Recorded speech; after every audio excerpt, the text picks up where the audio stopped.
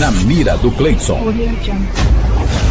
Apoio Jacimar Cabral, massoterapeuta. Agende agora mesmo. 99944 8228. Família Pizzaria. Sabor irresistível. Bordas recheadas. Tradicional e vulcão. Delivery 992430531. Tomate. Locação e prestação de serviços. Locação de andames e bitorneiras. Fone 99645 1599. Primos Cabeleireiros. JD Service. Soluções em balanças. Vendas e conserto de balanças. Ike Fome. Os mais deliciosos lanches e açaí da cidade. Na 28 de outubro, de frente à Caixa.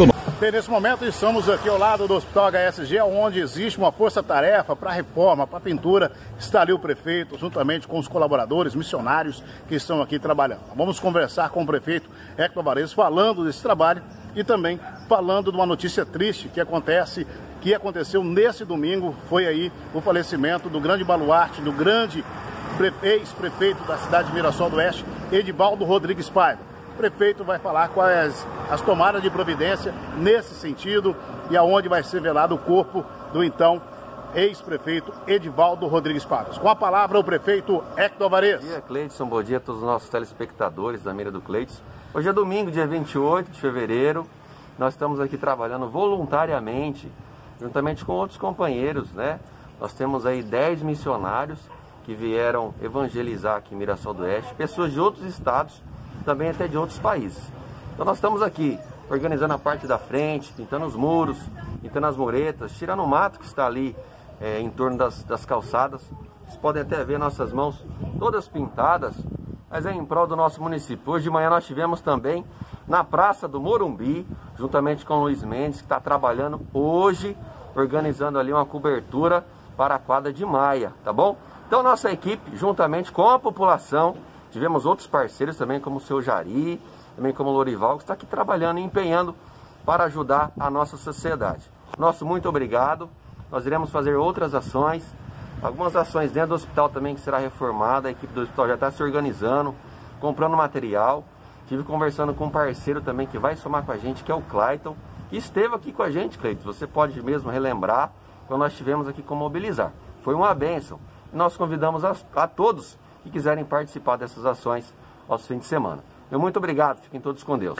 É, estou aproveitando aqui, é, hoje, nesse domingo, recebemos também uma notícia muito triste, com pesar, que falamos aqui com você, o falecimento do grande baluarte político, ser humano, fundador do nosso município Mirassol do Oeste, Edivaldo Rodrigues Paivas. Quais são os seus andamentos, já como prefeito, o que, você, qual, a, a, o que você tem a dizer e o que, as situações que você vai tomar frente sobre essa situação? Cleidson, é, ontem era mais ou menos 11h30 quando o João Luciano nos ligou, nos comunicou, eles são amigos, é, dizendo que o seu Edivaldo Pai havia infartado. Então nós organizamos a equipe aqui com a ambulância, com a UTI e ele foi encaminhado até Castros, para o Hospital São Luís. E hoje pela manhã nós recebemos essa triste notícia. Né? O Edivaldo é um parceiro, um amigo. Eu estive na casa dele por duas vezes essa semana passada ele mostrando as demandas para nós, e eu pedindo conselhos para ele, porque ele é um grande ícone de Mirassol, um baluarte para nós aqui, um grande líder e que deixou um legado para nós. Então é com sentimento de pesar, a nossa equipe já entrou em contato com a Câmara também, para ter essa harmonia, para que o corpo seja velado num, lugar, num, num local público, onde as pessoas possam ter o acesso, é claro, com todas as, as recomendações, né, com plano de ação, para o Covid-19. Então nós estaremos fazendo uma moção de pesar, tá? Sobre esse grande parceiro, tá bom? E decretar um luto também aqui em Mirassol do Oeste. Vou já entrar em contato com a equipe técnica nossa da administração para que seja feito isso o mais rápido possível, tá bom? Então, é... e a bandeira, né, hasteada pela metade, que é o símbolo de luto aqui em nossa cidade. Eu fico emocionado em dizer isso, com o coração cortando, porque era uma pessoa de grande valia para Mirassol do Oeste, que deixou o seu nome escrito nos anais desse município. Quero dizer aqui meus sentimentos à esposa, a filhos, tá? É, do prefeito de Mirassol do Oeste e dizer que eu estou muito triste com essa notícia.